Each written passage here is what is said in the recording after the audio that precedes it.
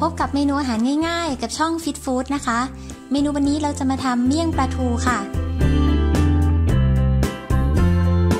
ใครที่ชอบทานปลาทูนะคะ วันนี้ลองมาทำเมี่ยงปลาทูทำทานกันเองง่าย ๆนะคะ อร่อยแล้วก็ได้คุณค่าจากผักหลากหลายชนิดด้วยนะคะ วันนี้สมมมีผักหลายชนิดเลยค่ะ ทั้งผักกาดขาวนะคะ ใบชะพลูโหระพา ผักชีฝรั่ง ใบสะระแหน่